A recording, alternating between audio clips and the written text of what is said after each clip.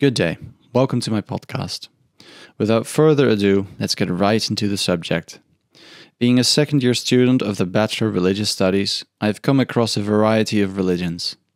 In another course, Cosmology and Religion, the idea of creation rooted in a struggle between order and chaos, or in other words, Chaoskampf, was put forward. In the course, this idea was mainly applied to the ancient Near Eastern world, especially in the Enuma Elish. Given that Judaism is culturally embedded in ancient Near Eastern traditions and religions, the idea of Chaoskampf could maybe also be applied to Judaism itself. This podcast shall therefore discuss the idea of Chaoskampf and if it can be applied to the creation story as described in the book of Genesis in the Hebrew Bible. Before we proceed any further, this podcast is mainly referencing and discussing ideas of the book Creation and Chaos, a reconsideration of Hermann Gunkel's Chaoskampf hypothesis by JoAnn Scurlock and Richard H. Beal.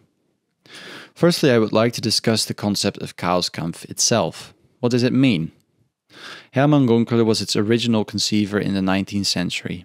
He was an Assyriologist who recognized a battle in the ancient narratives like the Enuma Elish or Hesiod's Theogony, describing battles between chaos and order, or good and evil, which were often predating the creation as told in the narrative. What is more, the struggle seemed oftentimes to be the cause of the world as we know it.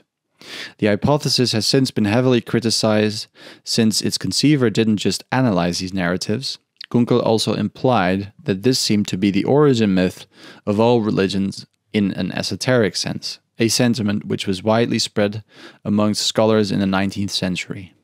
However, this criticism can't be extended to the concept of Chaoskampf as a tool of analysis by necessity.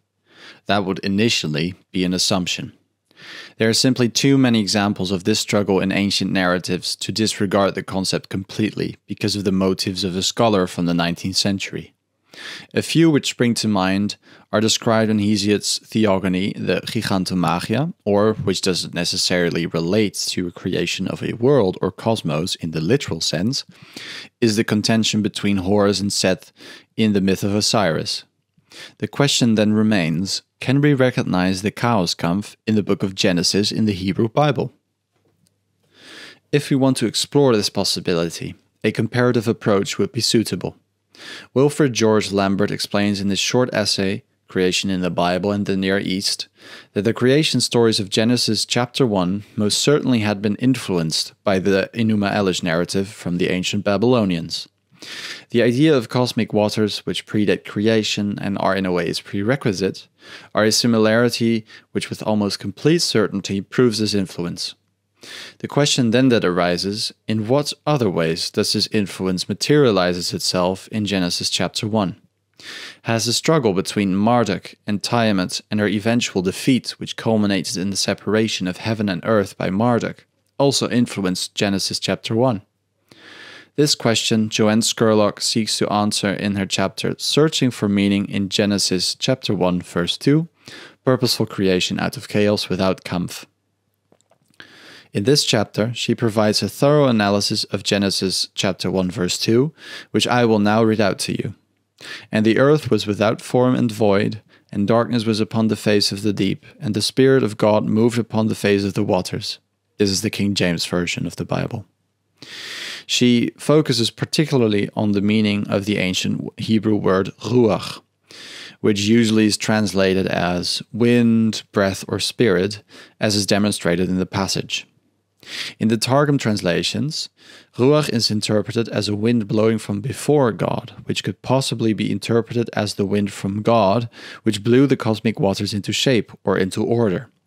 As Scurlock puts it, this could be uh, interpreted as God battling the sea, which would parallel Marduk battling Tiamat.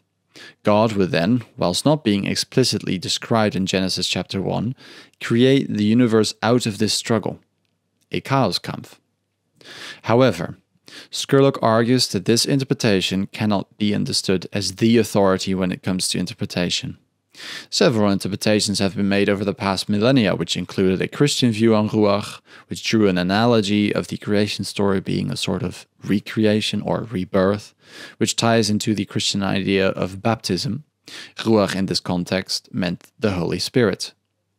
But next to these interpretations, Scurlock argues, is that the meaning of Ruach in the Genesis context should probably be understood as something which is connected to a bird like activity. Quote unquote. As Ruach is also accounted for in Deuteronomy chapter 32, verse 11, as an eagle stirreth up her nest, fluttereth over her young, spreadeth abroad her wings, taking them, beareth them on her uh, wings. This is again King James Version of the Bible. To understand Ruach in its own historical context means making a comparison with other sources as well. In this case, the Enuma Elish narrative is again a useful source. Scurlock points to several words the Akkadian Hiatu, Ugaritic Recheb, and finally the Syriac Recheb, which all seem to point towards a purposeful cognizant activity or movement. The best way to connect this to a bird like activity is to translate ruach as surveying. Genesis chapter 1 verse 2 should therefore translate to with darkness over the face of the abyss and the spirit of God surveying over the uh, face of the waters. JoAnn Scurlock has thus demonstrated in this article that a connection between the Enuma Elish and the creation story of Genesis is even more considerable. However, this would mean that the idea of a Chaoskampf, where God would create the universe out of a struggle, would have to be rejected.